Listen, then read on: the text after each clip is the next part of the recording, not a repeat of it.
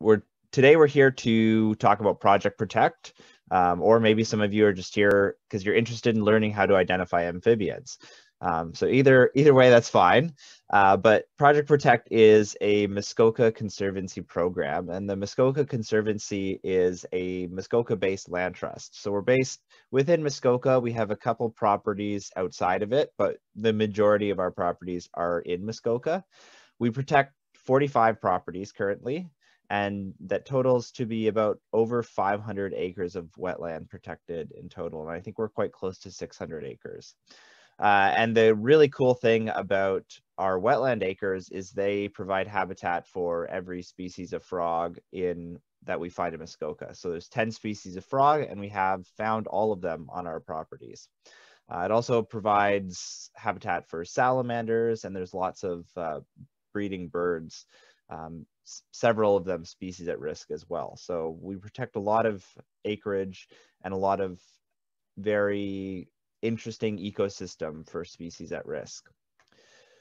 Project Protect is our citizen science initiative and i know a lot of people are kind of worried science is like a lot of test tubes and numbers and like really rigorous stuff citizen science is not uh, i am i open this up to everyone and anyone they don't i don't require any sort of pre-knowledge or anything. Any of the training happens during the program.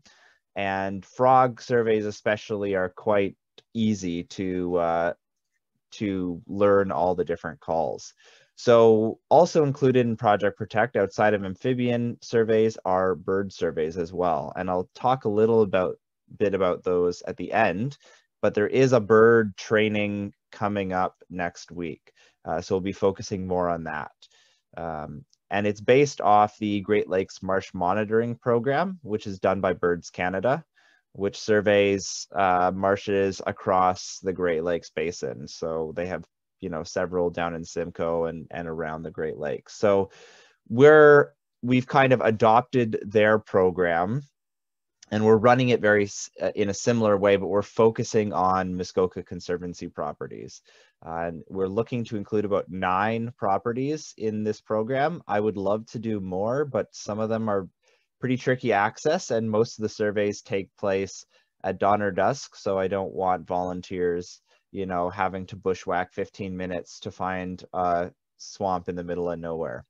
Uh, so for those of you who don't live close to our properties or uh, maybe we run out of properties, which would be a great problem to have, uh, I will find other suitable habitats to survey close by. Um, and I know a couple people, I have uh, a surveyor up in Port, uh, Port Carling who has a marsh that's not included in our properties. so I'll I'll make it work if you wanna if you wanna participate. Uh, okay, so we're gonna go through some quick frog identification, frog and toad identification. We're focusing mainly on their calls because most of the time when you're surveying, that's all you're gonna hear. But uh, it is good to know how to ID them by sight. There's been several times, especially in the early surveys, that while walking in between survey sites, I've seen frogs on the road. Um, so I had one one year I had I think three wood frogs and two American toads on the road in between survey sites. So it's useful to know how to identify them uh, visually as well. But audio is going to be most of the focus uh, for the surveys. And I've ordered these these frogs and toads in order of when they start calling. So the earliest callers, the ones that start in probably about three weeks, are going to be first, and then we're just going to kind of go down uh, the, the list of them. So our first frog that starts calling, or there's kind of a group of three that start calling at a pretty similar times, is the wood frog. wood frogs have a variable color. Most often you're going to see that that browner color, but there there is variation, and many frogs and toads have variation in their coloring. The best thing to look for for the wood frog is the dark mask uh, on the frog. And let me just, I can do some drawing to make sure everyone sees where that is. The dark mask is right here. Um, so you're looking uh, right below the eye. And sometimes, as in this photo, you can actually see that the mask extends through the eye. Um, so it's a, quite quite a large mask, larger than we see in any other uh, frog or toad, and that's the easiest way to to get a good sense of them. Um, sorry. Uh, they have a prominent dorsolateral ridge, and I'll highlight highlight that one as well. That's the ridge that runs from the eye to the back of the frog. Um, so you're you're gonna see this on many of our frogs and toads, but not every single one of them. But this one is a, quite a prominent ridge, uh, and you'll be able to see that. Sometimes I bring binoculars to make it easier to ID some of the frogs, um, but you'll see that going all the way to the back of the legs. And their call is like a duck quacking. So I'm gonna play that for you right now. And please let me know if you can't hear the audio. It should be set up, but sometimes there's issues. Best described as a series of harsh staccato quacks, the call of the wood frog, Rana sylvatica, is heard for a brief period in swampy woodlands in early spring.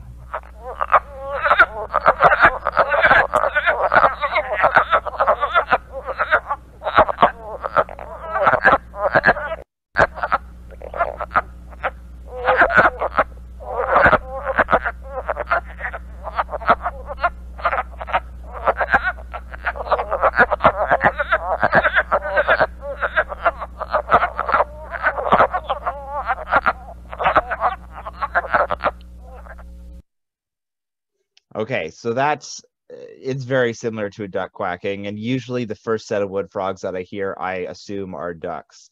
Uh, so kind of eh, not quite as hearty as a duck might be, or quite as loud. Um, that would be that one is more than one frog. So you'll often you'll hear just a single like set of quacks, but in that case, we heard multiple ones kind of uh, going at once. So yeah, that was multiple frogs.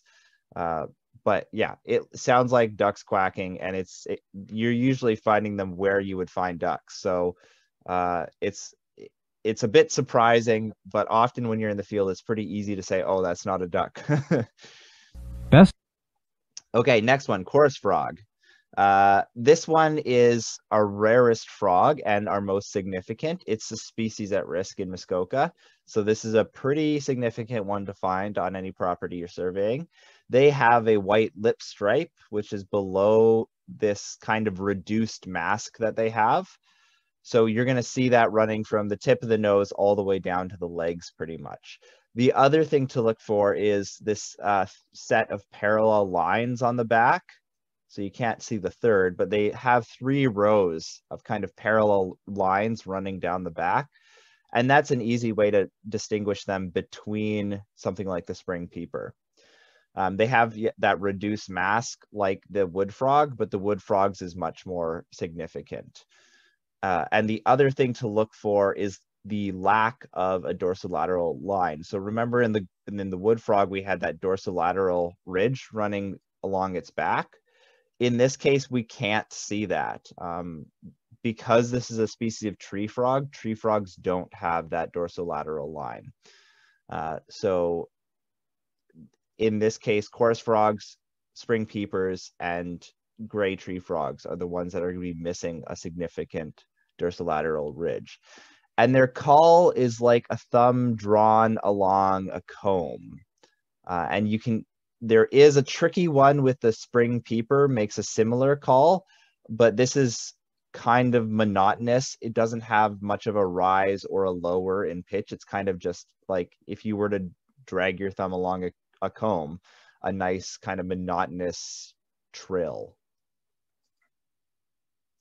The songs of the western chorus frog, Pseudacris triseriata, and boreal chorus frog, Pseudacris maculata, are virtually identical. Because the survey is based on identification by call, both species will be dealt with as one. The call is often most aptly described as resembling the sound of a finger drawn along the teeth of a comb. Note the slight rise in pitch and emphasis.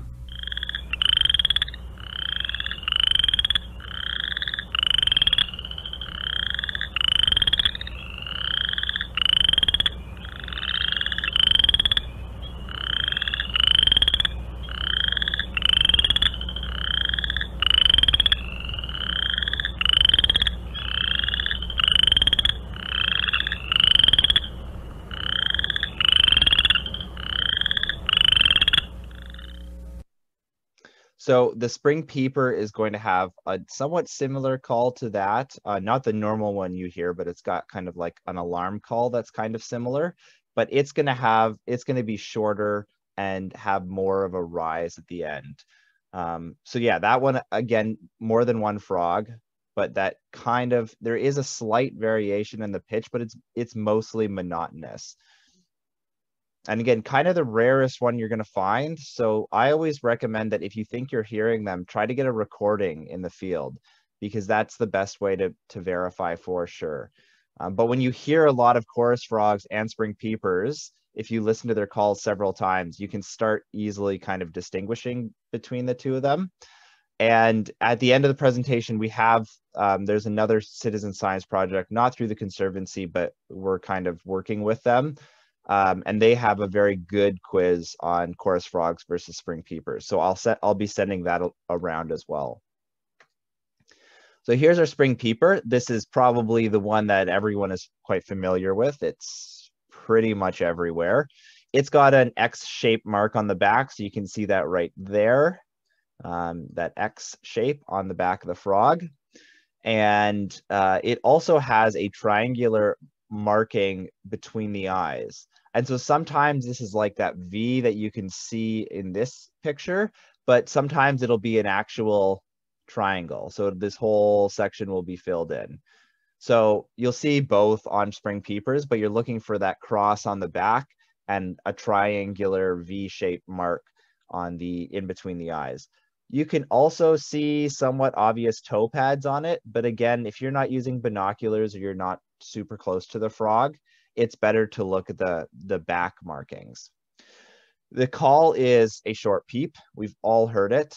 Um, there is a, they do this kind of alarm perik call, which I'll be sending out a bit later because it's better to be listening to that and the chorus frog quite close together so you can hear the different um, different call. It looks like it has, it doesn't have, oh, I see. So you're, so th- I think this is just a, a shading mark. A dorsolateral ridge will most likely run like that. So this one also doesn't have a dorsolateral ridge. You might see some, a kind of an edge right here, and you'll you might see that in several different species of frog, a kind of edge. But the ridge is is kind of uh, it's if you were to touch a frog, you can feel that that rise in the back. Um, and this is more just uh, the shape or potentially the shadowing on the frog. Um, so we'll listen to the peep. I'm sure everyone's heard it, but it's a good thing because you'll start hearing it pretty soon. With the first warm evenings of early spring, the spring peeper, Pseudacris crucifer, advertises its presence with a high-pitched descending peep in ideal habitat and weather, calling males can be so numerous that their loud chorus drowns out all other sound. In the following example, individual spring peepers are heard first, followed by a chorus.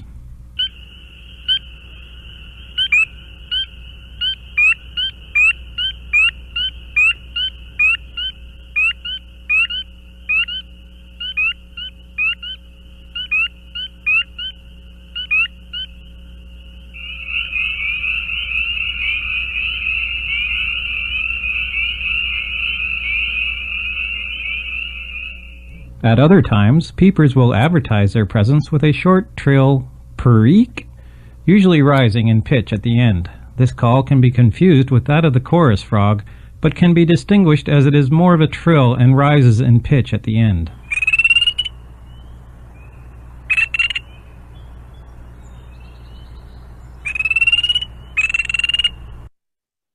So that last call can be confused with the chorus frog. It tends to be shorter and has more of a rise at the end.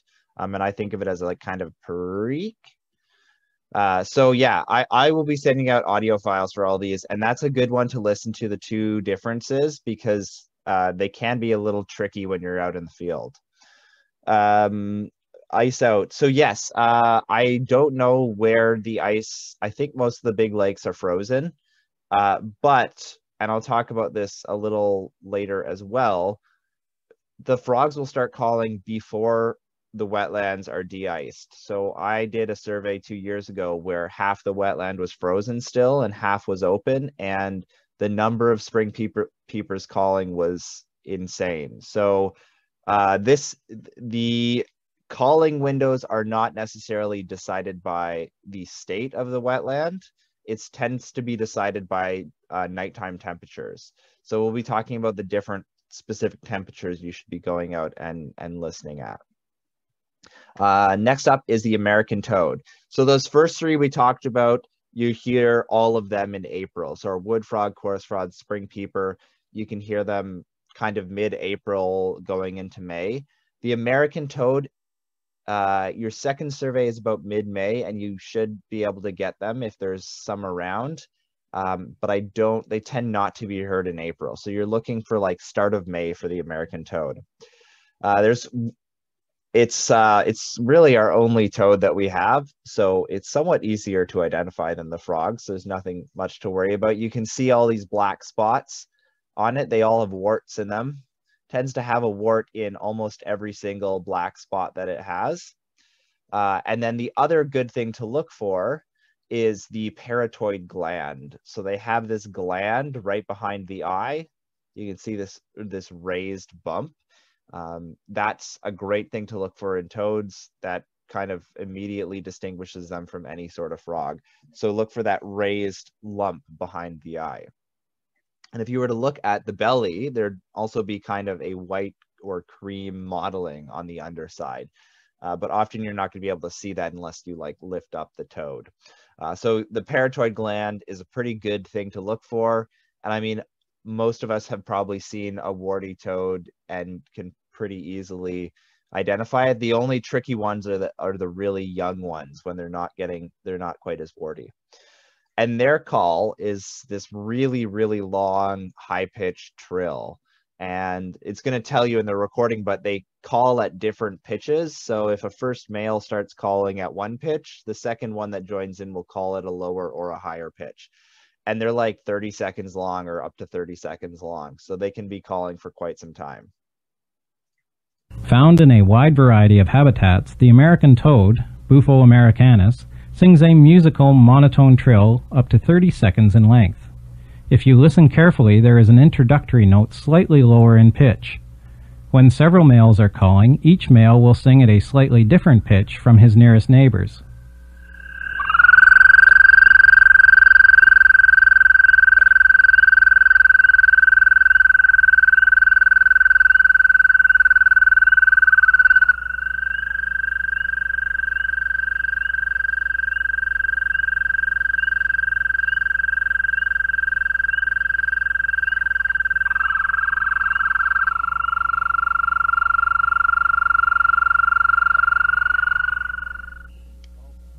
Um, what does the parotoid gland do? I'm not entirely sure. uh, I'll have to look that up and get back to you because I'm I I'm not positive what what that gland actually does. Um, I think it may be used in mating, but uh, I I'll double check and make and make sure, um, and I'll send that out. Oh, perfect. Neurotoxins versus predators, um, and the that's kind of somewhat common in toads. The cane toad down in Australia, uh, which is their super invasive toad that is everywhere there, um, is quite toxic, and that parotoid gland is is most likely the case. So yeah, long, long trill. There, the trill is almost forgotten when you're out in the field because because of its length. So you really have to tune your ears to be listening for like this really long trill amongst all the other frogs calling.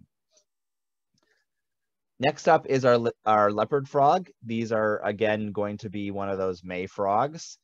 Their leopard frog, green frogs, and bullfrogs can be tricky identifi um, identifications because of their variability in color. If you get one that looks like this, it's pretty, like, it's pretty unmistakable. Uh, bright green with all the spotting. Uh, but there are ones that have less spotting and then you can start getting into those issues with uh, misidentifications with green and bull, bullfrogs. So things to look for is there are all these spots on the back. They tend to be more kind of circular. uh, a long dorsolateral ridge, that kind of cream colored ridge running all the way to the back. Um, and they have a white line from snout to shoulder. So again, kind of similar to our chorus frog that had the white lip line. Um, that's the other thing to look for in leopard frogs, that, that light line going from snout to shoulder. Uh, and again, some might have few spots, some might have more spots than this guy, uh, but you're looking for those kind of more circle to square shaped spots on the frog. And the call of the leopard frog is quite interesting. It's like uh, I I always think of it as a two part call. One part is a creaky door opening, like if you you know, like in horror movies, you have the door slowly swinging open. So that's what I think the first part kind of sounds like. And then the second part is like a ghost, kind of a creepy ghost uh, laughing at you. Uh, and you'll kind of they're they're going to talk about it as like a snore and a chuckle or something i think but i always think i like to think of it as like a creepy door and then this ghost laughing at you being really scared of it uh, but again different mnemonics for different people uh, whatever works best for you. uh, so here you go. The song, if it can be called that, of the leopard frog, Rana pipiens, sounds like a guttural snore lasting about three to four seconds, followed by several equally guttural short clucks.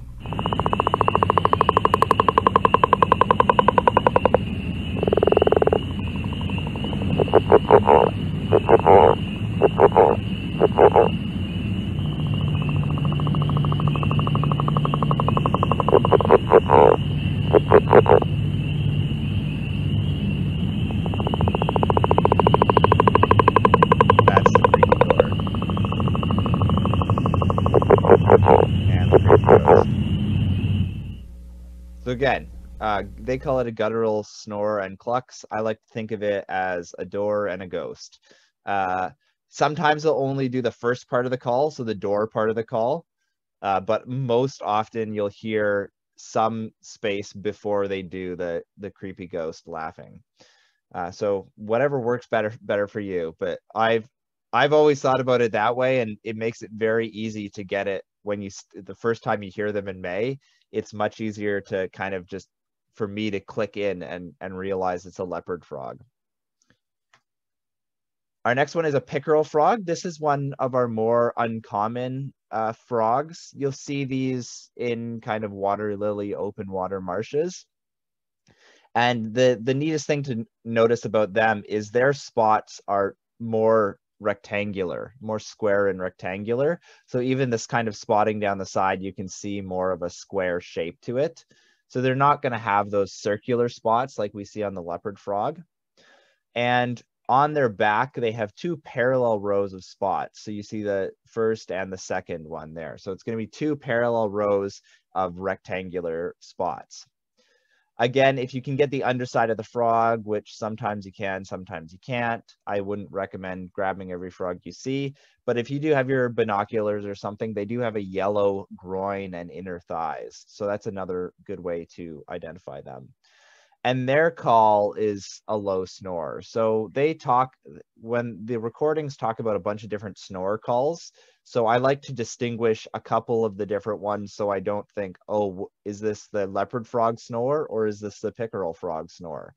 Um, so this one sounds more like a snore to me. And uh, it's quite kind of, yeah, this one sounds like exactly like a snore to me. Similar to the leopard frog, but faster in cadence and slightly higher pitched, the steady snore of the pickerel frog, Rana palustris, lacks the additional notes of the leopard frog.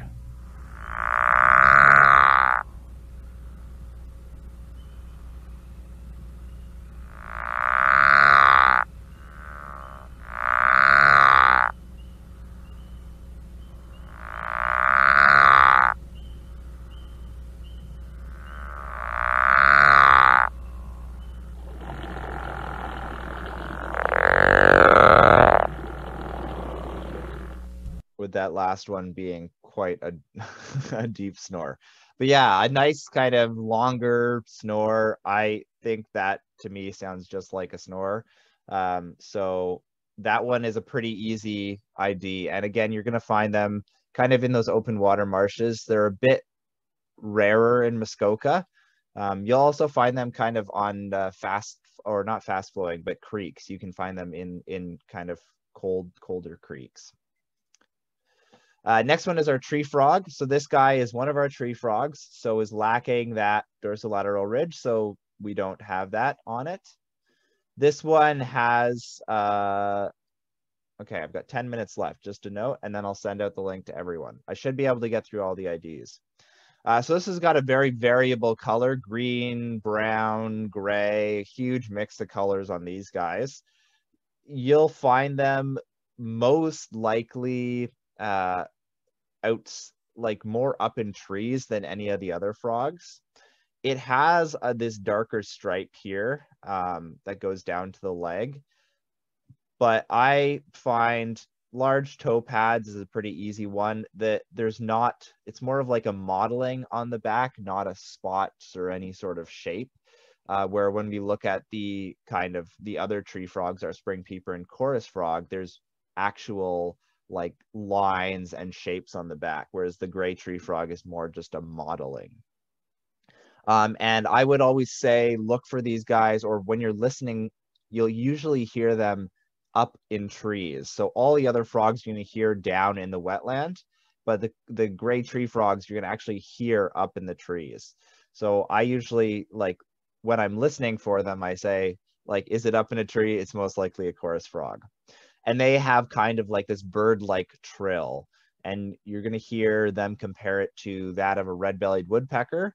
Um, and it's not quite as bird-like as an actual bird um, and red-bellied woodpeckers are pretty infrequent uh, in in Muskoka.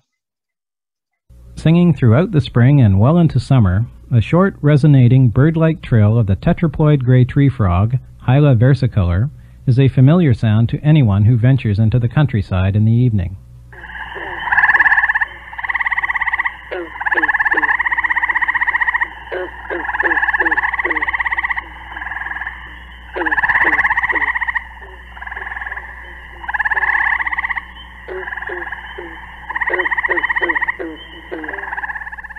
The call is somewhat reminiscent of the red-bellied woodpecker. Let's compare the two. First the woodpecker, then the gray tree frog.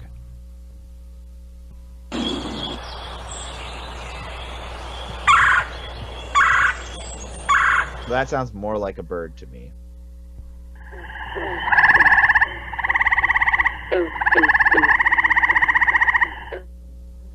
And again, red-bellied woodpeckers are quite infrequent in Muskoka. So usually if you hear kind of that trilly call, it'll be a, a gray tree frog. So green frog is one of our easier ones, odd, um, odd, using audio to ID. Um, it's got a very long dorsolateral ridge. You can see it going right down from the eye, quite pronounced as well. It has very variable colors. So this is a brown. You'll see much greener ones. I think there's been reports of like blue ones in the past. So huge variation in color. Uh, and then throat or uh, cross bands on the thighs. So it's kind of hard to see in this picture, but they have lines that kind of cross the thighs. The other thing to note about them and how it's or how to tell them apart from a bullfrog is the bullfrog's dorsolateral ridge will fold down this way. So really the best thing to do is look for this dorsolateral ridge on the frog. And if you see a really distinct one, it's a green frog. And their call is just this gunk. It's like gunk, gunk. Um, and so we're going to listen to that. The explosive throaty gunk of the green frog, Rana clamitans, sounds like a plucking of a loosely tuned Oh, banjo string. In the following example, individual green frogs are heard first, followed by a chorus.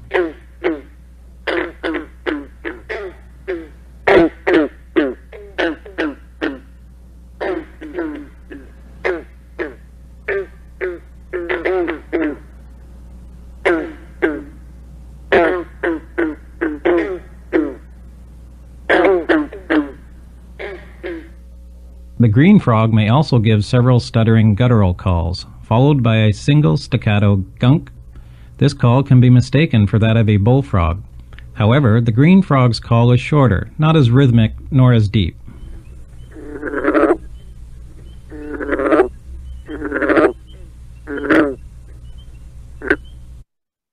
almost always has a gunk in there too. So if you're hearing that kind of more guttural call, um, just wait for it to gunk, basically. Bullfrogs are really distinct in their calls. Um, so yeah, that gunk, it kind of sounds like almost like a pluck of a off tune guitar or violin string or something like that. Next one is mink frog. Uh, this is, uh, we just got two frogs left. So this one is very mottled on the back. You can see right here. There's no spotting or anything like that. It's just super mottled. Um, often you'll see this orangey color as well, potentially. Um, they're really quite a gorgeous frog to see. Uh, you'll see larger blotching on the back legs, but this mottling is so distinct that it's kind of like hard to idea it as anything else because all the other frogs we're looking at are going to have some amount of spotting on them. And it does have a dorsolateral ridge, but it's quite indistinct. Um, it, it isn't a tree frog, so it does have one, but it's a very unpronounced uh, ridge. This one sounds like a hammer striking wood. I always think of it as like a cut, cut, cut, like kind of a triplet. Um, so a bit of a different call for a frog to have. The burry cut cut cut of the mink frog, Rana septentrionalis, is given in rapid series. It is reminiscent of the distant sound of a hammer striking wood. Listen for it where water lilies are plentiful.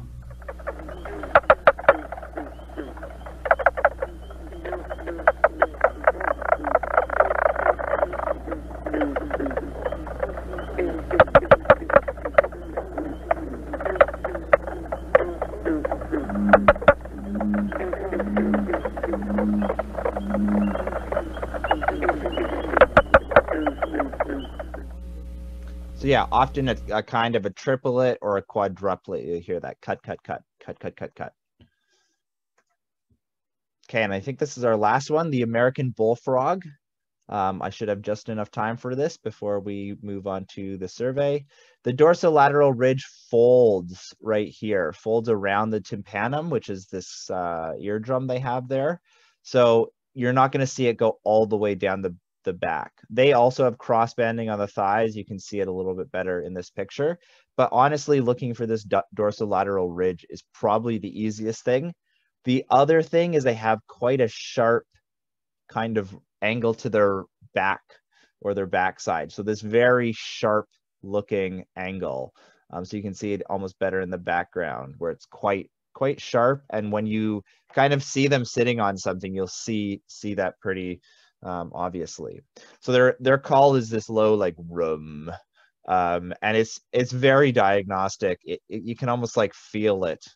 Um, so I'm going to play that for you. Carrying long distances, the deep bass rum of the bullfrog, Rana catesbeiana, is familiar to nearly everyone. It can be heard well into the summer.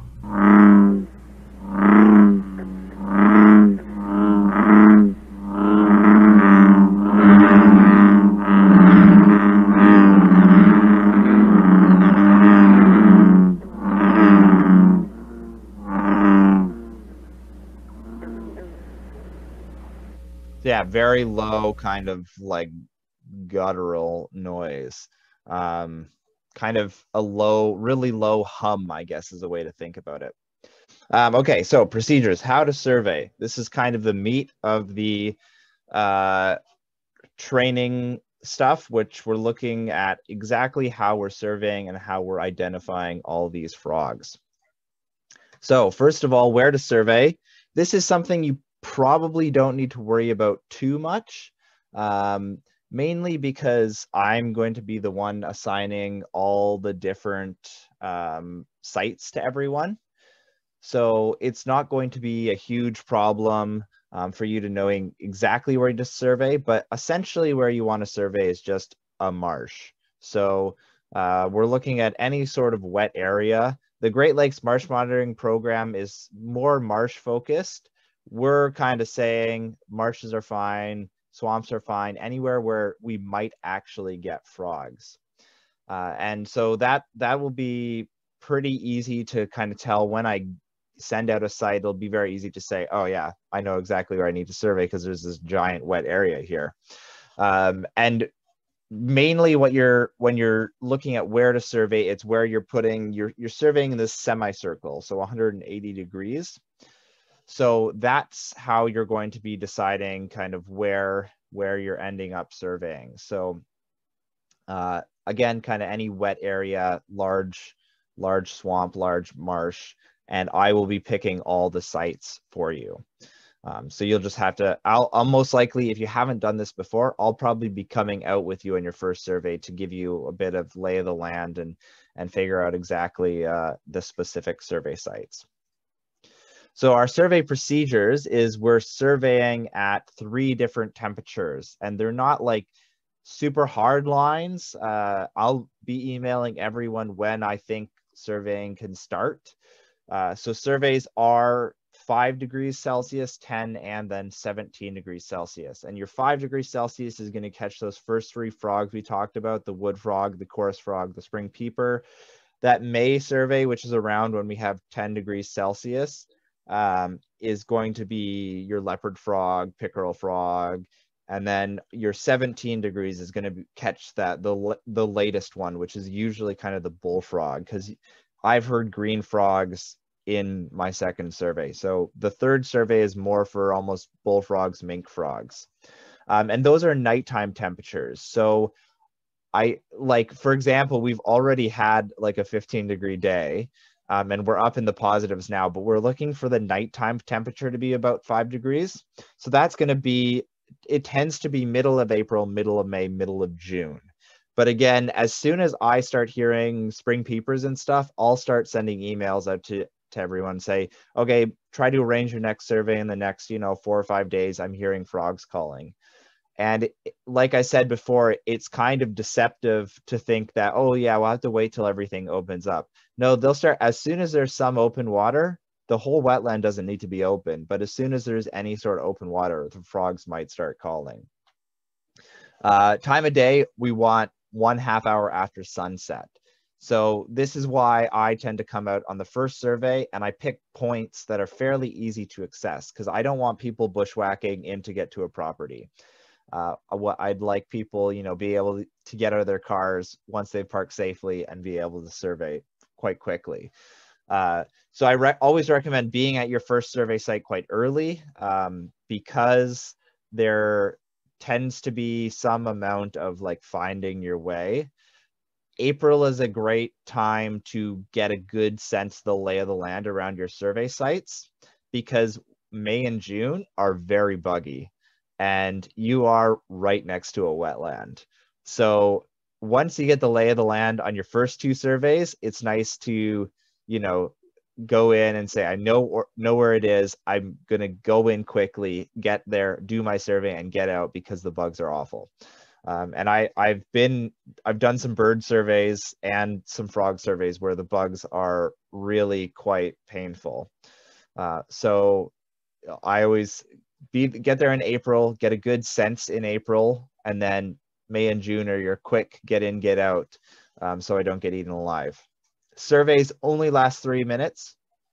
And I say, like, three minutes seems like a really short time. And in April, it is going to seem like a really short time. And you're going to say, oh, I want to serve for survey for 15 minutes. And I fully encourage people to survey for longer, but I can guarantee in May and June, three minutes is going to seem like a much longer time. Um,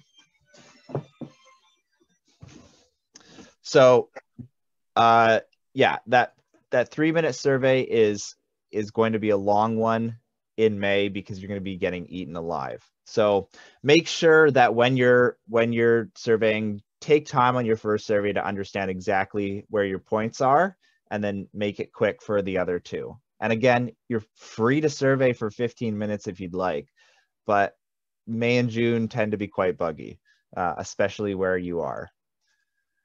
Other notes, um, try to avoid windy days. Calling activity is going to be greatly reduced during um, any sort of windy night. I've and I've like been out. I picked a day with a volunteer and it was hard for us to find a time and we went out anyways and it was windy and we heard nothing. And there should have been at least peepers and there there was there was nothing calling. So uh, try to i try to pick sites close to you so that you can quickly arrange a time.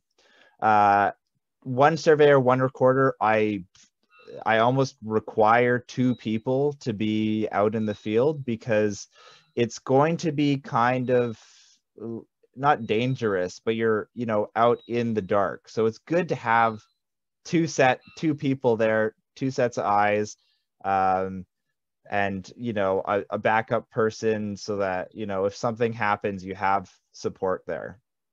And again, I'd like to most likely come out with you on your first survey if you haven't done this before. Um, and for some of you, like maybe you're surveying super close to your heart, your house, and you're like, I don't really need, I feel comfortable having no one else here. Uh, so sorry, I'm just getting work calls. Um, so yeah, I just two people is always best, but if you if you are close and you feel very comfortable, I can work with just one person. But again, if it's like if you want to survey with a friend and you want to bring the friend out, great. But I can also arrange to find a second surveyor in your area. Uh, the other thing, fill out your survey sheets during and shortly after the survey because I have done this in the past and think I can remember stuff. I can't. So when you get back to the car, I would, you know, close the doors, shut the windows so you're not getting eaten alive. But fill out your survey sheet there, add any of the necessary information. Uh, bring things to bring, pen, pencil, watch. I use my smartphone instead of a watch, uh, but anything to, to track that three minutes. Uh, clipboard, because it's much easier to write with that. Uh, headlamp, because when you're exiting, it's going to be dark. And bug repellent, or whatever you need to deal with, you know, 50 mosquitoes attempting to carry you off because uh, that may be what happens. If you're serving a roadside, it might not be as bad, but there are some like you know slightly in the bush, and all of a sudden you're uh, you're swatting swatting mosquitoes instead of listening to frogs. Uh, this is what your survey data looks like. Uh, we're going to talk about the call codes in a second, and uh, yeah, it's it's pretty easy and not all the information is like super necessary. So things that you're looking like things that I absolutely need from you um, is the start time. Like that's kind of the most crucial thing. Uh, this I I love having a background noise code and I need one, but often your sites are not going to have a lot of background noise. So if you end up forgetting to do it, it's not the end of the world this is probably like I would not even really worry about that. I know where all your sites are and I know the angles that you're looking at. If you can do it in the field, like you have a compass on your phone or something, that's great. But uh, I I wouldn't say like that's an absolute necessity. I know where all your survey points are, so I can always fill that in afterwards. This is always super good. Like I kind of need this. Um, otherwise, I don't know what frogs are calling they also have like this in out thing. Um, I wouldn't worry about that. And I'll be sending out the data sheets to everyone. I usually like you can you can figure this out from just looking at this sheet, right? Like this is out of your survey circle, this is out of your survey circle. So I don't I don't necessarily need you to fill that out. So the most the the key things are this and this. Like that's what I absolutely need from you. Um, we'll talk about the calling codes in the and and again, yeah, write write notes if you'd like. If you hear a frog before your survey and you don't have it during your survey, write a little note. Say I heard a spring peeper before survey, and and it didn't call during the survey.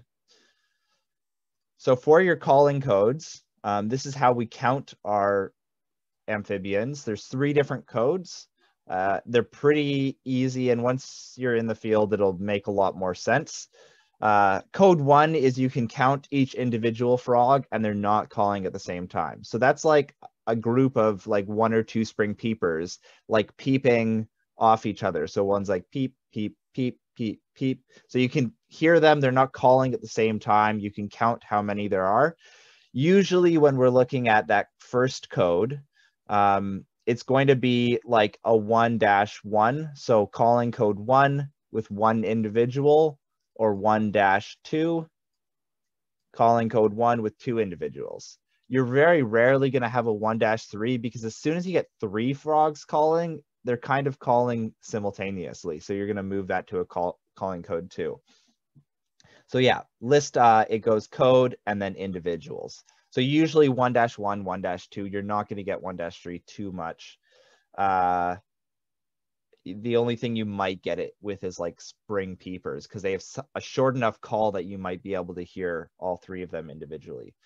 Code 2 is uh, calls are distinguishable, but some are simultaneously calling. A good example would be American toad. So you've, you've one trilling at a low pitch and then a second one joins at a higher pitch they're calling at the same time and you can distinguish how many there are but um, and they're not but they are simultaneous. So um, again you'd list number of individuals so that might be like 2 dash 2 like two they're distinguishable distinguishable but simultaneous and there's two individuals.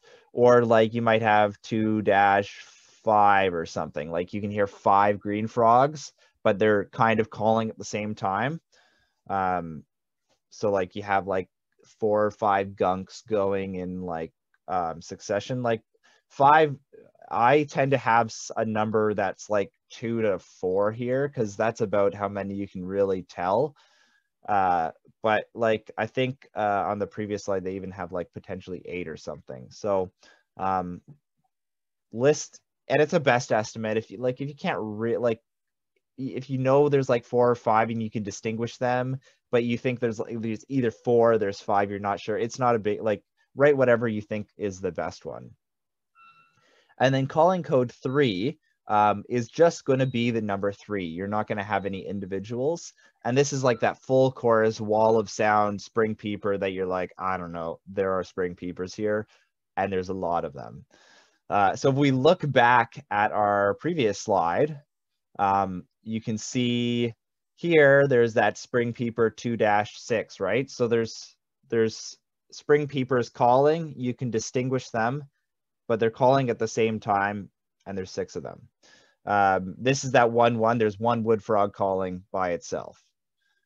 Here we have that chorus of chorus frogs. That means there's just, there's too many to count, or you can't distinguish the different calls. They're just like huge numbers of chorus frogs. Um, and then, you know, same deal here. This is northern leopard frog. Again, short form is not necessary. You can just write leopard frog or wood frog or like however you want to list what they are. Um, like four letter codes, I think I have included or I will include what they are, but I don't require you to learn them like what if you just want to write peeper in if you want to write like sp for spring peeper however you want to do it as long as i can distinguish them um, pretty easily. And then yeah like there's your wall of sound spring peepers like just huge amounts of them. I'm not going to be able to count them. And i would say in muskoka you're like calling code three spring peeper is like the most frequent thing you have. Like i often the first time i surveyed one site and that was when the wetland was half frozen I there was so many spring peepers calling, I thought I was going to go deaf. Like it was just this huge wall of sound. Um, oh, okay. So for these four four letter codes, um, oh, this is going to really take my writing skills on the computer. So that SP, PE. So for the those of you unfamiliar with four letter codes, um, and if you're doing the bird training, we're going to talk about these as well. This is, yeah, someone wrote it very well, but spring. So there's your SP peeper.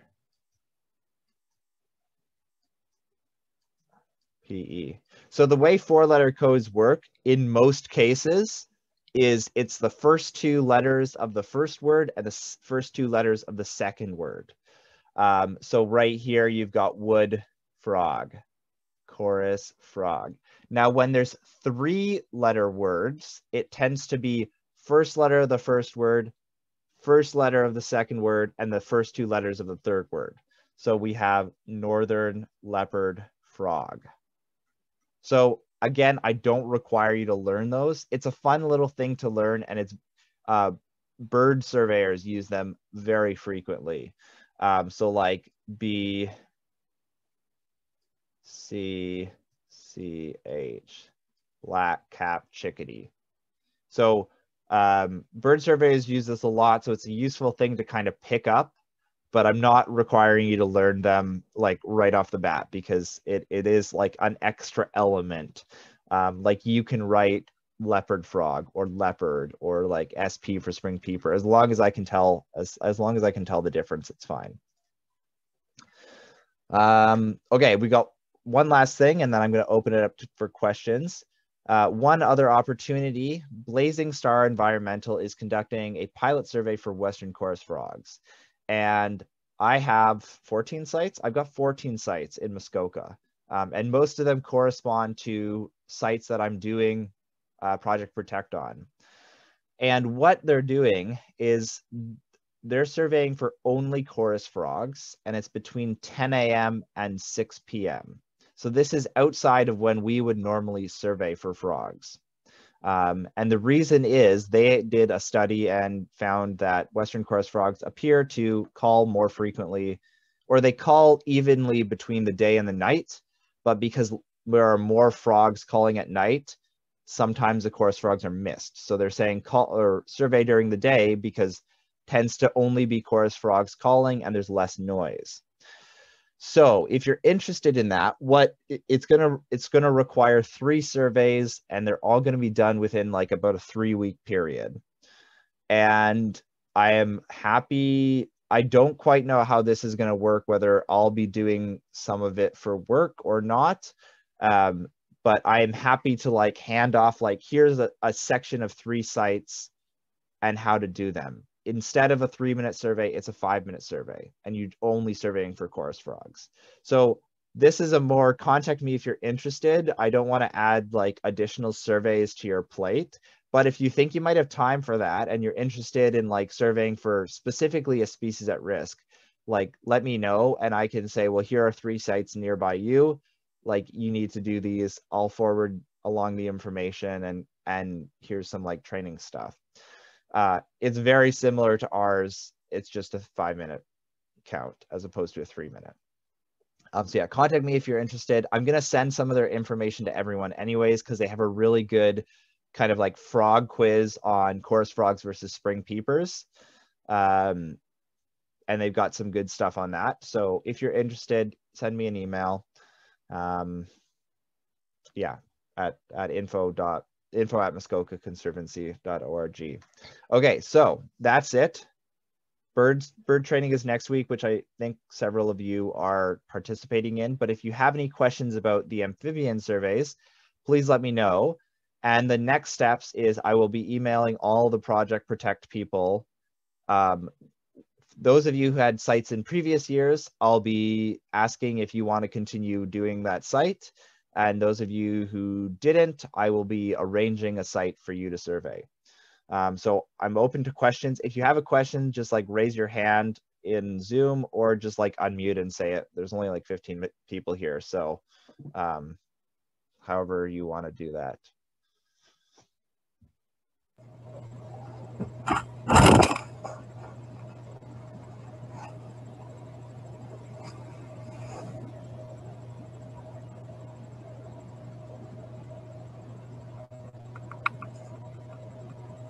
Martha, did you have a question? I do. Okay. Can you hear me? Yes, I can hear you. Uh, I missed the first session on amphibians. I don't feel competent yet to do the survey for the big survey. Yeah. Um, so uh, yeah, the, I mean that's that's the nuts of it. Yeah. So um, to allay some of your fears, uh, the first survey was, or the first training was the same as this. So it was, it was not a separate training. Um, I will be sending the audio calls to everyone. You'll have the MP3s and can listen in your own time. Um, and I'll be going out with you on the first survey. And to help you with this, there's only going to be three frogs calling during your first survey. You're going to have spring peepers. If you're lucky, you'll have chorus frogs and you'll have wood frogs. That's pretty much the limit. So what you can do with the MP3s is you can focus on a group of frogs. Like those first three, learn those. Next ones, like for the second survey, there's like four more frogs that you might need to know. So you can kind of parcel it in a way that it's not going to be too intimidating. Um, but if you don't feel comfortable, I'm more than happy to come out with you on all of your surveys and help you with that. Um, so when we have two surveyors, there's a surveyor who's doing all the frog call like identification, and then a recorder who's just recording the information. So right. if you'd like me to come out survey for you and you can record, I can do that and then hand it off to you when you feel comfortable. Um, I really just want to get people interested in the program. Um, and so, however I can make it work for you is fine. Or if you want to wait a year and spend some time learning, that's fine. Or I can offer another amphibian training session if people are still feeling uncomfortable and, and do it that way as well. Hmm. Okay, thank you. Uh, any other questions?